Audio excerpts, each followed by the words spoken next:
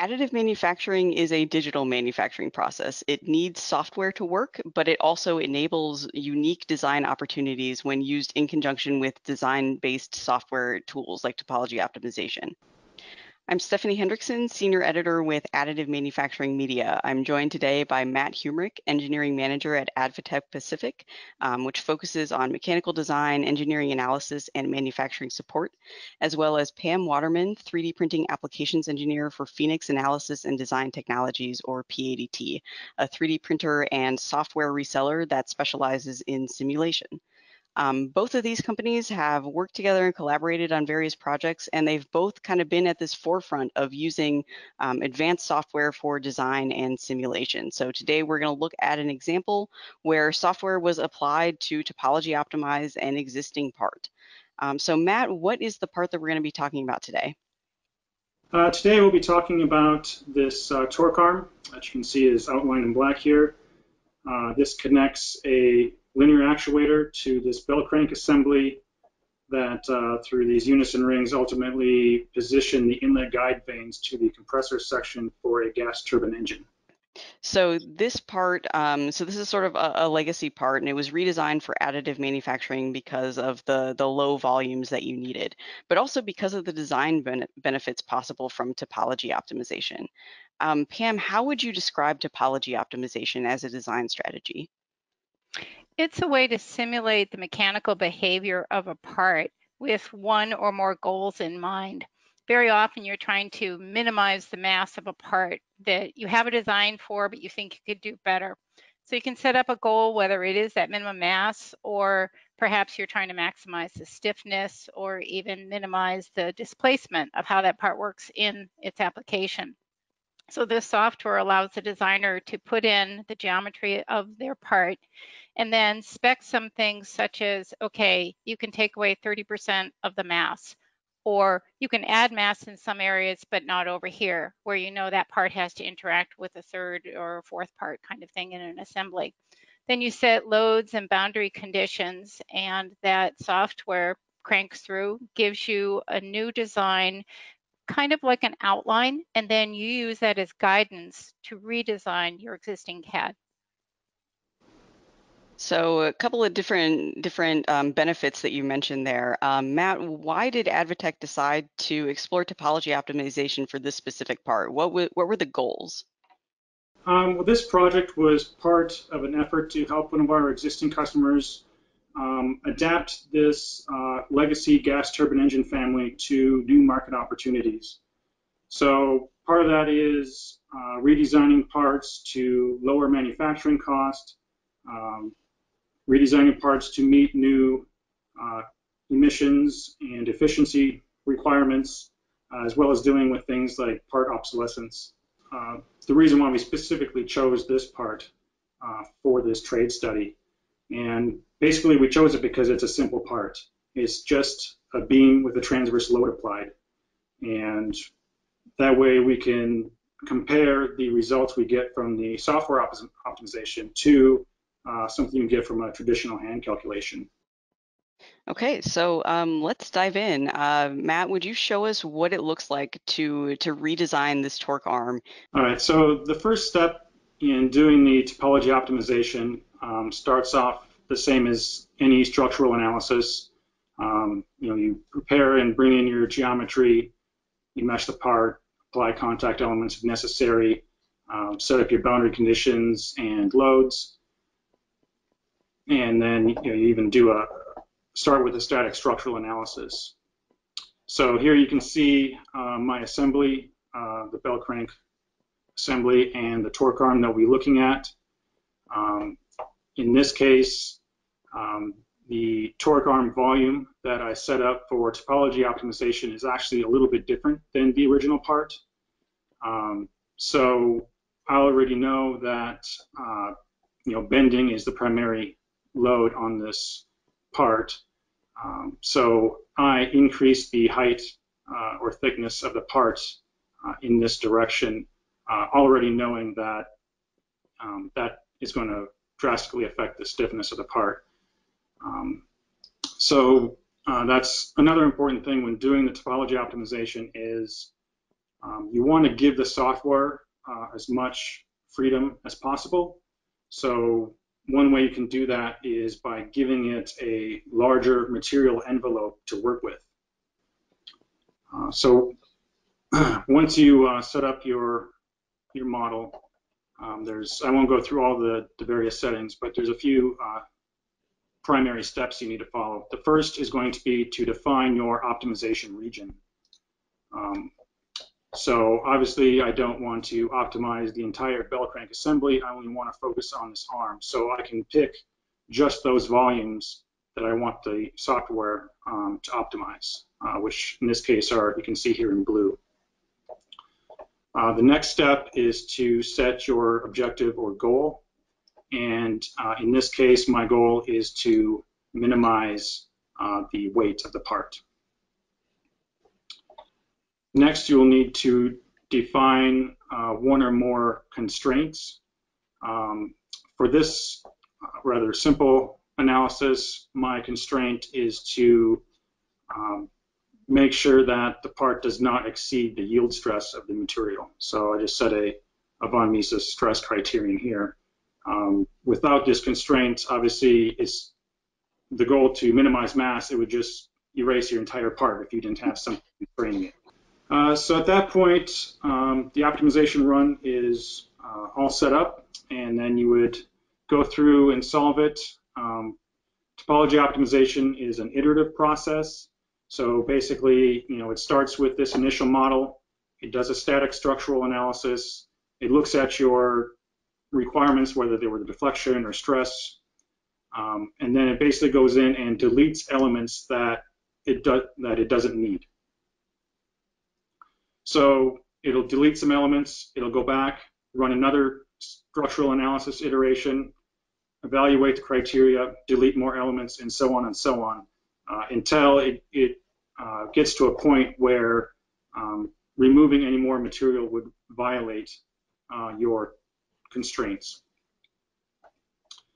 So uh, for this part, uh, this is uh, what you end up with. Um, maybe I'll go back and we'll look at the uh, final shape again just for comparison to refresh our memories here. Um, so there'll be uh, several features that um, were intuitive that you would expect. Obviously for a beam and bending, uh, you end up with a shape that looks like an I-beam as that's very efficient.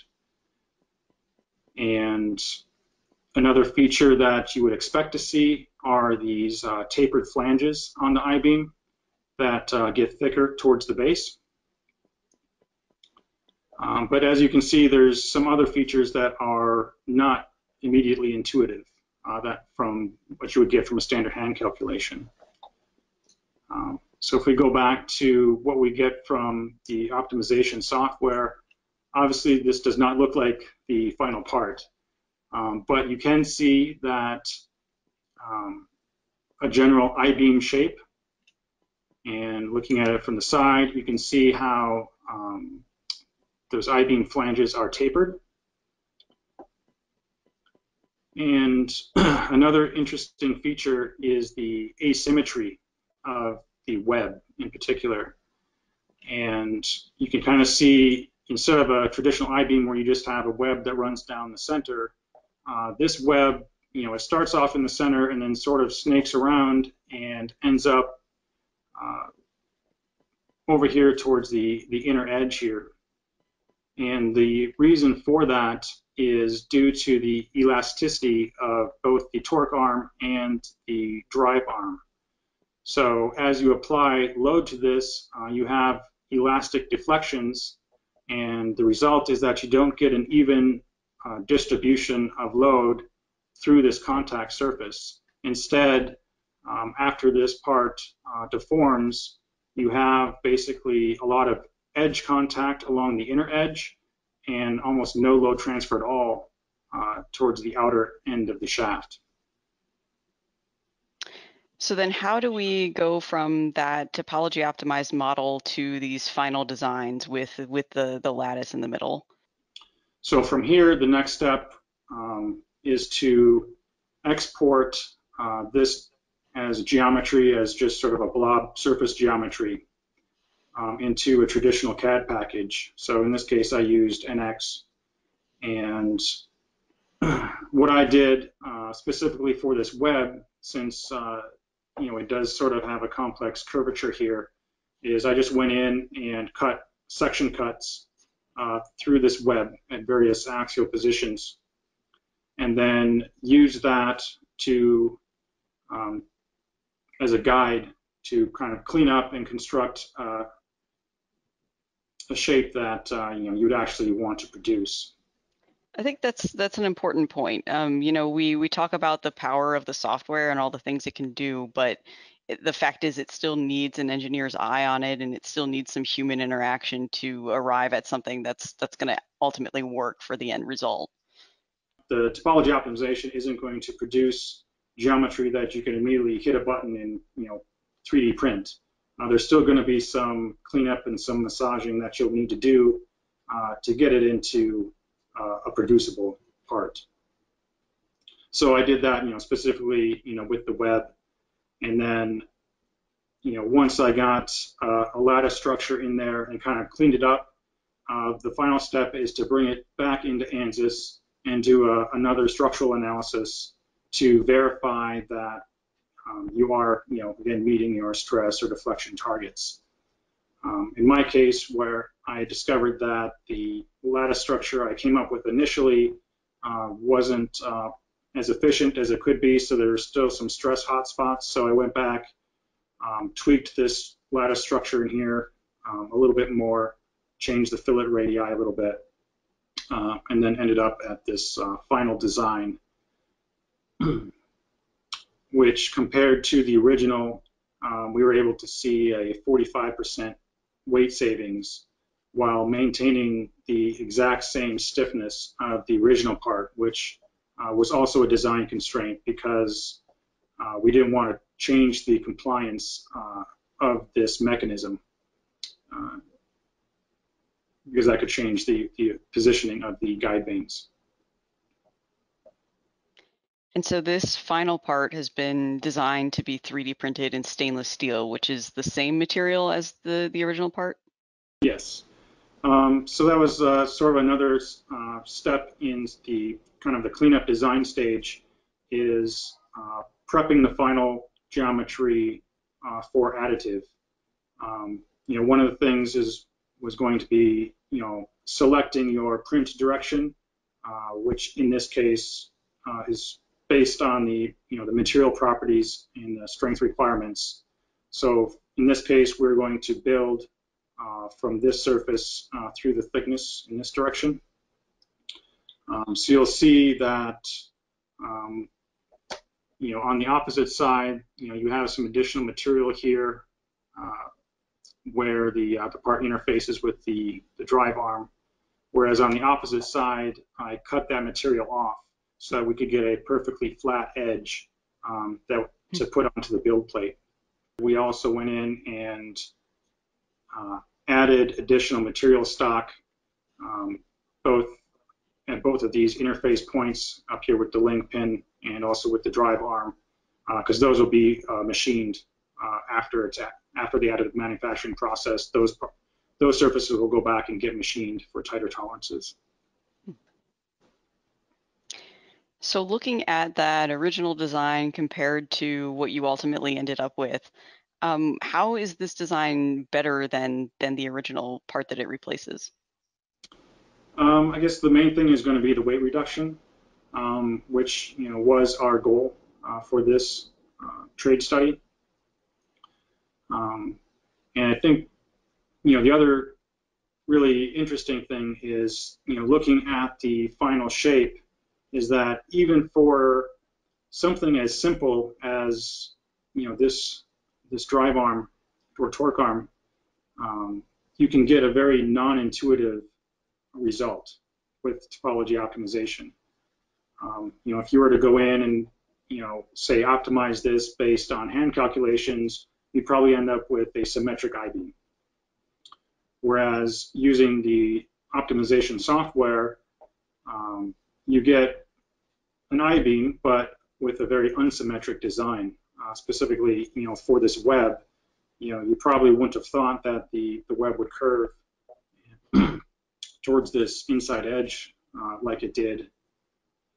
Um, so that was kind of a, a non-intuitive result that I think highlights the benefits of using topology optimization, um, not just as a tool to you know, minimize the weight of an existing design, but you can also use this as a tool, as a design tool, um, to come up with designs that, uh, you know, aren't intuitively obvious. Uh, so, you know, as more of a creative tool. I, I, like this example a lot because it's clear looking from looking at the finished design. Um, you can see the influence of the software. Like you can see kind of how the the um, the webbing curves and some of those non-intuitive features. But you can also see things like the the straight edge and these touches um, that are more on the human side, trying to figure out how to take this information that the software has given you and translate it into something that's going to work. And ultimately, this would be a metal part, but because this topic was so interesting and the geometry came out with these sort of unexpected results, we've decided to print the parts just on a 3D printer in ABS to show as samples. So here's a version of the original arm, so you can see how symmetric it is. And it's a half scale and then here's the geometry that Matt came up with. You can see that truss stress um, structure. And I turn it right side up, we just put some names on the side. So it says ANSYS topology and PADT Advatech. But pretty cool to actually see how that came out. So we're going to be using it for a lot of samples and discussion. I think it's just a really intuitive pairing. Okay, um, Matt, Pam, thank you so much for being here. Um, if you'd like to learn more about this application or the use of topology optimization along with 3D printing, you can find more information in the links below. And for more about the industrial use of additive manufacturing, visit additivemanufacturing.media.